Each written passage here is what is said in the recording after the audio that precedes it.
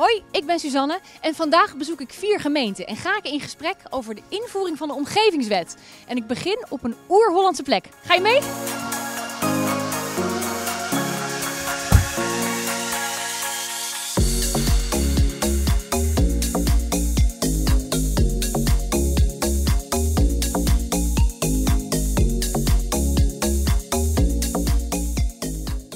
Zien sta ik midden tussen de bollevelden in de gemeente Schagen. En ik sta hier met uh, Paula en zij werkt bij de gemeente. Paula, kun je vertellen wat je daar precies doet? Ik ben inderdaad uh, van de gemeente Schagen. Ik ben applicatiebeheerder daar voor de VTH-keten, oftewel de vergunning, toezicht en handhaving, de processen die daar lopen. Daar zorg ik voor dat de programmatuur allemaal op orde is en dat we dus aanvragen kunnen ontvangen en vergunningen de deur uit kunnen sturen. Ja, de gemeente Schagen is al vroeg gestart met de omgevingswet. Hoe hebben jullie dat precies aangepakt? Wij zijn in eerste instantie gestart met een omgevingsplan, uh, of eigenlijk een bestemmingsplan maken voor een gebied waar we mee bezig waren, op de omgevingsplan manier. En uh, daarin hebben we heel veel botsproeven gedaan. Uh, en gaandeweg ga je steeds stapjes verder en de techniek, uh, de aansluitingen dus regelen, zodat we aan alle kanten aan het DSO, het digitaal stelsel omgevingsrecht of omgevingswet, dat we daar helemaal aan vastzitten gekoppeld en verder kunnen oefenen en ja, producten gaan leveren. Jullie werken met verschillende softwareprogramma's. Hoe haken die op elkaar in? We hebben drie soorten programma's die met elkaar moeten gaan communiceren uiteindelijk. Dat is uh, RxBase voor het omgevingsplan met de werkingsgebieden. Uh, STTR-beelden voor al onze aanvraagformulieren, maar ook de checks of je wel of niet een vergunning of een melding of misschien helemaal niks nodig hebt. En uh, RX Mission gaan we gebruiken voor het proces zelf. Dus dan is het aanvraag die binnenkomt en weer afgehandeld wordt. En uh, ja, alles zit aan elkaar vast doordat uh, het omgevingsplan geeft aan wanneer een vergunning nodig is. Dus die zorgt ervoor wanneer je welke vragenlijst nodig hebt. Uh, of je een toestemmingsvrije re reactie moet terugkrijgen of vergunningsplicht als reactie terug moet krijgen of re resultaat. En nou ja, uiteindelijk moet het dan natuurlijk weer in het proces komen voor een aanvraag om daar je aanvraag te kunnen gaan behandelen. En welke valkuilen zijn jullie al tegengekomen in dit proces? Het grootste valkuil is denk ik dat uh, je kan de techniek allemaal heel goed voor elkaar hebben, maar je hebt de inhoud nodig. En momenteel is er uh, behoorlijk veel werk op de hele keten. En uh, ja, dat zorgt ervoor dat de mensen eigenlijk niet echt tijd hebben om naast hun gewone aanvragen die ze aan het doen zijn, ook nog te zorgen dat je iets nieuws gaat inwerken, gaat, uh, de inhoud gaat uh, verkennen. Waar, waar moet ik allemaal rekening mee houden? En helpt om alles glad op rolletjes te laten lopen zodra de wet in werking treedt. En ja, die, die samenkomst van alles, dat zorgt COVID niet helemaal erg prettig aan mee, want er is nu een explosie aan aanvragen nog extra gekomen omdat mensen ja, langer thuis uh, geen vakantiegeld uh, hebben uitbesteed aan een vakantie waarschijnlijk. En dus de aanbouwen, de dakkapellen allemaal langskomen. Uh, dus dat zorgt voor wat extra moeite. En daarnaast een valkuil. Er wordt altijd gesproken over omgevingswet en alle toestemmingen die daarbij horen. Maar niet de toestemmingen die er buiten vallen, maar die natuurlijk wel in het proces meegenomen worden. In dezelfde keten terechtkomen. En kun je daar ook een voorbeeld van noemen?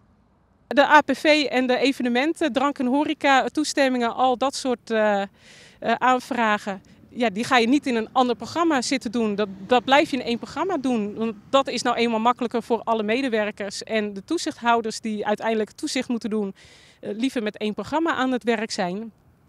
Dus ja, dan ben je daar nog wel eventjes ook mee zoet om dat ook voor elkaar te maken. Ja. Waarom is die omgevingswet zo belangrijk voor burgers en ondernemers? De wet is heel erg belangrijk voor het openbaar krijgen van alle informatie. Het idee erachter is dat iedereen kan zien wat er ergens op een perceel speelt. Zodat je kan zien als jij iets wilt wat je allemaal mag. Maar ook als jij nog, nog niet weet waar, dat je makkelijk kan zoeken waar jij een project zou kunnen gaan uitvoeren wat jij zo graag van de grond wil krijgen. En uh, niet alleen de gemeente weet wat ergens wel en niet mag, maar dat iedereen daar gewoon zelf naar kan zoeken. Zonder te wachten tot er een ambtenaar vrij is om een antwoord te kunnen geven. En zoeken jullie ook samenwerkingen op met andere gemeentes of uh, waterschappen? Ja, wij hebben als regio allemaal werkgroepen opgericht. En vanuit verschillende gemeentes in verschillende werkgroepen zitten mensen die daar uh, ja, dus met elkaar proberen om wat structuur, gezamenlijk digitaal samenwerken of de processen samen in te richten. de bruidschat met elkaar doornemen van wat is er en wat kunnen we ermee. En uh, daarnaast zijn wij als gemeente Schagen ook uh, met ons waterschap uh, in overleg en aan het kijken hoe wij nog verder samen kunnen werken. Dat ook wat buiten de omgevingsrecht of omgevingswet valt, ook veel beter op elkaar kunnen laten aansluiten. En daar gaan ook de komende tijd er extra uren in zitten. Geweldig. Dankjewel, Paula. Ja, we staan hier dus midden tussen de bollevelden. En ik heb mij laten vertellen dat deze doorlopen helemaal tot aan Den Helder. Dus uh, die gemeente gaan we ook nog even opzoeken. Dankjewel. Graag gedaan. Ik sta hier met Ingmar en hij is programmamanager bij de gemeente Den Helder. Ingmar, kun je mij vertellen wat je daar precies doet? Ja, ik ben uh, programmamanager voor de invoering van de omgevingswet. Nou, zoals we allemaal weten uh, uh, vraagt dat heel veel van de gemeente op verschillende vlakken. op, bijvoorbeeld op het gebied van visievorming, de omgevingsvisie, op het gebied van de regelgeving met het omgevingsplan, veranderen van werkprocessen, bijvoorbeeld rondom vergunningverlening. en ik probeer eigenlijk alles in goede banen te leiden, zodat we in 2022 helemaal goed aan de start staan. Hoe zijn jullie begonnen met het omgevingsplan? Uh, ja, wij zijn eigenlijk uh, vooral begonnen met uh, het juridische gedeelte. en ik kan niet zeggen dat we een van de eerste gemeenten waren die daarmee aan de slag zijn gegaan. maar inmiddels zijn we redelijk voorvarend aan de slag. we zijn bijvoorbeeld aan de, aan de slag met het samenvoegen van alle relevante verordeningen op het gebied van de fysieke leefomgeving. om die straks in één verordening eigenlijk klaar te zetten om in het omgevingsplan op te nemen. Um, en daarnaast zijn we ook bezig met de bruidschat. Uh, de regels die we van de Rijksoverheid uh, gedecentraliseerd krijgen naar de gemeente. Uh, en we zijn regionaal bezig om te kijken wat dat precies inhoudt en wat we daar precies mee, mee moeten. en vervolgens zullen we lokaal als, als gemeente Den Helder zelf een keuze maken wat we nou daadwerkelijk willen gaan gebruiken en wat niet. Uh, dus dat vraagt dus echt om, uh, om een aantal keuzes. En wat voor valkuilen zijn jullie tot nu toe tegengekomen? Een van de valkuilen die we uh, tegen zijn gekomen is capaciteit. er gaat gewoon een hoop tijd in zitten. het vraagt ook een bepaalde expertise. Dus nou ja, iemand die echt goed in de materie zit, moet ervoor vrij worden gemaakt. en recent zijn we er ook wel heel erg achter gekomen dat we met het juridische best wel een eind onderweg waren. maar dat we ook de software nodig nodig hebben. Uiteindelijk, uh, zonder software kunnen we niet uh, de regels uh, ook helemaal klaarmaken voor die omgevingswet. Dus ja, als je te ver vooruit schiet met het juridische gedeelte, dan heb je uiteindelijk maar één been een stap gezet. En je hebt eigenlijk die andere, dat andere gedeelte ook heel hard nodig. Dus op dit moment zijn we dus ook heel druk bezig om te kijken wat er nodig is op, op softwaregebied. En wat gebruiken jullie? Wij gebruiken RxBase. Uh, na een aanbesteding uh, hebben we uiteindelijk uh, RxBase geselecteerd als, als leverancier. En nou ja, ehm, dat was in september van vorig jaar. en inmiddels, nou ja, na een implementatiefase en wat eerste knoppentrainingen, zijn we nu ook daadwerkelijk zover dat we echt aan het oefenen zijn. Ja, je gaf al aan dat jullie niet de eerste gemeente waren die zijn gestart. Maar hoe ver zijn jullie nu? Nou, wij zijn uh, wel goed op dreef om uh, echt uh, klaar te staan voor 1 januari 2022. we zijn met de omgevingsvisie zijn we ongeveer op de helft. dat heeft vooral te maken dat we wat andere aanpak kiezen dan veel andere gemeentes. Wij pakken het gebiedsgericht aan in plaats van één grote visie voor het totaal. Um, en voor de regelgeving zijn we eigenlijk nou ja, alle noodzakelijke stappen aan het zetten om, uh, om uh, uh, nou ja, tot een goede set regels te komen. en die vervolgens in de komende jaren verder uit te bouwen. Geweldig. Ja. Dus jullie gaan het redden? Wij gaan het redden, ja, absoluut. Dat weet ik zeker. Dankjewel, Ingmar. Graag gedaan.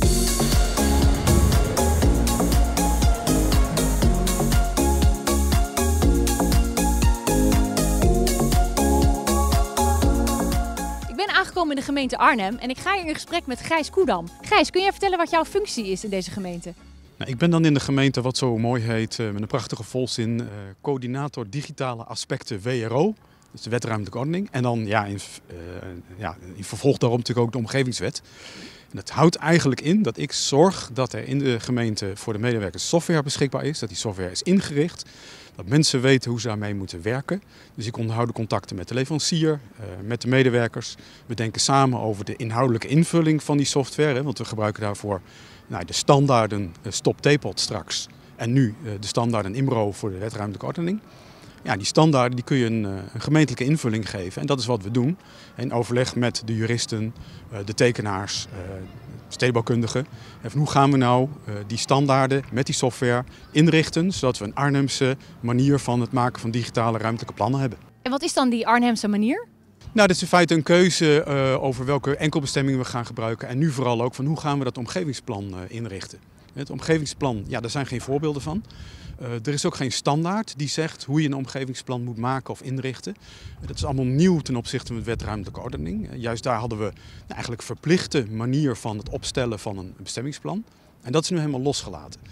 En dat betekent dat we vanuit die ervaring met digitale ruimtelijke bestemmingsplannen eigenlijk ja, een nieuwe standaard voor onszelf hebben moeten maken van hoe gaat Arnhem nou het omgevingsplan opstellen. Want er zijn geen voorbeelden, dus we moesten het echt zelf verzinnen. En we denken ook dat we dat gedaan hebben. En uh, nou, dit is waarschijnlijk een vrij typische manier. Uh, maar we horen in ieder geval al uit wat berichten uit den landen dat men dat wel een interessante aanpak vindt. En dat is ook de aanpak die we nu al aan het implementeren zijn. Arnhem is natuurlijk een, uh, een grote stad, 150.000 inwoners. Hoe belangrijk is nou die omgevingswet voor de bewoners en de ondernemers? Ja, ik denk heel belangrijk. Um, maar uh, de verandering is misschien ook niet zo groot als ze altijd dachten. Uh, want Arnhem stond altijd al naar de burger toe. probeerde het altijd al mogelijk te maken om initiatieven te laten gebeuren in de stad. kijken hoe kunnen we de burgers en bedrijven ondersteunen. we zijn ook al lang bezig met dingen als milieu, hittestress in de stad. Ehm, hoe gaan we om met de ondergrond? Dus die omgevingswet ja, die voegt eigenlijk een heleboel dingen in één wet samen die we toch al deden. Uh, dus denken daarover is niet zo nieuw. maar hoe we dat dus inderdaad in een ruimtelijk plannen moeten gaan gieten, dat is wel nieuw. Maar dat is voor iedereen nieuw. Wanneer zijn jullie begonnen met de omgevingswet? Nou, toch al vrij vroeg. Hè. Uh, zou eigenlijk eerst, uh, nou, ik geloof 2019 al worden ingevoerd. Toen begonnen we al met het opzetten van projectgroepen en werkgroepen. Uh, echt gemeentebreed. Eh, de wet ruimtelijke ordening was voornamelijk een feestje van de afdeling die bestemmingsplannen maakte. Vooral een meer technische exercitie. Maar dit gaat veel breder. Uh, dit wordt echt ja, dit is een andere manier van werken in de hele organisatie. Ja, dat is heel lastig om die te implementeren. Het is veel meer dan alleen maar software geven en, uh, en aan de slag. Nee, het gaat juist om die, die afweging van al die belangen en uh, thema's die spelen in een gemeente. Om die samen te laten komen in een omgevingsvisie, later ook in programma's, uitvoeringsgericht. En uiteindelijk natuurlijk ook in het omgevingsplan waarin je juridisch dingen regelt. Uh, ja, en dat, dat gaat veel verder dan alleen maar de afdeling die bestemmingsplannen maakt. Daar proberen we echt alle beleidsafdelingen bij te betrekken. Iedereen die beleid maakt moet eigenlijk als een beleid zo gaan schrijven dat er ook meteen werkingsgebieden aan gekoppeld kunnen. Dus je moet als het ware als beleidsmaker kunnen zeggen, dit stukje beleid geldt voor dit stukje Arnhem. Terwijl vroeger natuurlijk meer ja, taalgericht was. Een prachtige beleidsvisie uh, met wijdse vergezichten. Maar als je dat dan concreet probeert te maken en probeert af te zetten tegen andere beleidsthema's die spelen, ja, dan wordt dat, die afweging wordt heel erg lastig omdat het niet concreet is. Nou, nu worden wij door de omgevingswet gedwongen om dat wel concreet te maken en bij elkaar te laten komen in een omgevingsvisie en later ook in het uh, omgevingsplan. Dus dat dwingt je echt om anders te gaan werken. En dus die organisatorische component in een gemeente is veel belangrijker dan de technische component. Ik ben vooral bezig met die technische componenten. Hebben we software en doet hij het. Ja. Uh, maar kijken veel breder. We zijn echt met een hele grote groep mensen bezig om uh, nou, echt dingen anders op te schrijven. Verordeningen zoals we die vroeger maakten, ja, die moeten nu naar het omgevingsplan. Er moeten werkingsgebieden bij. Ja, dat is allemaal nieuw. Ook voor die juristen die dat toen maakten. Die moeten op een andere manier denken. Nou, die andere manier van denken die zijn we aan het implementeren. En niet alleen dus bij hele concrete dingen als het omgevingsplan, maar ook al bij het maken van beleid. Wat voor soort softwarepakketten gebruiken jullie? Ja, wij gebruiken eigenlijk al heel lang de pakketten van Roxit, ook voor de wet ruimtelijke ordening al. Dus dat gaan we nu weer doen voor de omgevingswet. Dus we zijn ook heel erg bezig met ja, kijken hoe die software werkt, het testen ervan. Vervelend is dat die software niet af is. Dat kan niet, omdat de, software nog, de standaarden nog niet af zijn. Uh, en daar lopen we wel tegenaan. Hè. We zijn allerlei dingen aan het proberen en nou, in een proefversie van de software aan het stoppen. Ja, dan komt er weer een bericht dat er een verandering in de standaard is. En dan, ja, dan moet dat weer leeggeveegd worden omdat er een technische aanpassing moet worden gedaan. Dan moeten we opnieuw weer regels invoeren, opnieuw werkingsgebieden. Uh, dus het is, ja, we zitten echt duidelijk in een ontwikkeltraject. Uh, veel meer dan we kopen een kant-en-klaar softwarepakket uh, van de plank. Dat is gewoon niet aan de orde. En dat kan ook niet, omdat de omgevingswet zelf nog heel erg in ontwikkeling is. Met met name ook de standaarden die nodig zijn om die omgevingswet digitaal te kunnen implementeren. Ja, en de software maakt natuurlijk gebruik van die standaarden. En ja, de software is pas af als de standaarden dat zijn. En dan loop je natuurlijk altijd een beetje achter. En wat we dan nu vooral zien is dat uh, ja, de, de, minister had ons een oefenjaar beloofd. Maar goed, het is al bijna 1 januari 2022. Ja. En ja, het jaar is al een heel eind op streek. En ja, we zijn nog lang niet klaar. We kunnen nog niet echt oefenen hè, in de hele keten. Dus uh, ja, uitstel dreigt nu weer. Zou uitstel van de omgevingswet een probleem zijn voor gemeente Arnhem? Nee, het is totaal geen probleem. Het is goed omdat we de implementatie nog niet rond hebben. Maar aan de andere kant, um, we kunnen al werken met zogenaamde crisis- en herstelwetplannen. Arnhem is een van de gemeenten die is aangewezen als uh, gemeente die daar gebruik mag maken. Dus wij mogen bestemmingsplannen met verbrede, rijkwijde maken, zoals dat heet. En dat betekent feitelijk dat wij niet bestemmingsplannen maken, maar dat we nu eigenlijk al omgevingsplannen maken. Dat betekent dat die plannen inhoudelijk al helemaal omgevingsplan zijn. Maar ze zijn nog wel gemaakt met de uh, nou ja, huidige standaarden, worden straks de oude standaarden INBRO. Uh, die kunnen we ook al naar de landelijke voorziening ruimtelijkeplannen.nl sturen. Daar kunnen mensen ze ook al bekijken. Um, maar inhoudelijk zijn het al omgevingsplannen. Dat betekent dat we straks, als we beschikken over de software en de nieuwe wet is in werking getreden, hoeven we feitelijk die plannen alleen maar om te zetten in de nieuwe technische standaard. Maar we hoeven niet meer inhoudelijk na te denken over hoe we dat dan gaan doen. We weten in feite al hoe wij een omgevingsplan gaan opzetten. En dat hebben we eigenlijk geleerd door het maken van bestemmingsplannen die we maken als omgevingsplan. Jullie hebben natuurlijk al jarenlange ervaring hè, met deze omgevingswet. Heb je misschien nog tips voor andere gemeentes of waterschappen? Ja, vooral beginnen. Uh, de enige manier waarop wij vooruitkomen is ja, het gewoon echt gaan proberen. En het is ontzettend ploeteren. Um, maar als je gaat zitten afwachten totdat je weet hoe een omgevingsplan gemaakt moet worden, dan zul je dat nooit weten. Want er is geen standaard meer in Nederland die je dat kan vertellen. Uh, dus praat met andere gemeentes, dat hebben wij ook gedaan. Hè. Met Deventer op bezoek geweest, met Eindhoven gepraat, met Nijmegen gekeken. Uh, we volgen de landelijke ontwikkelingen. En nou, daaruit destilleren wij een manier van denken die wij denken dat goed is. Ja. En dat wordt dan nou ja, de Arnhemse invulling van die, van die nieuwe omgevingswetstandaarden. Ja, dus met elkaar in gesprek gaan en gewoon beginnen. Ja, en zorgen dat je dat uh, gemeentebreed doet. Hè? Want het is dus onvoldoende dat je alleen maar nou, de afdeling die bestemmingsplannen maakte, dat balletje toeschuift. Uh, dat gaat niet werken. Je zult het echt gemeentebreed moeten gaan opzetten, uh, omdat we naar een andere manier van werken toe moeten, waarin ja, thema's echt afgewogen worden en tegen elkaar worden afgezet. om te komen tot nou ja, thematisch en gebiedsgericht omgevingsplan, ja. waar alles klopt. Nou, geweldig. Dankjewel. Graag gedaan.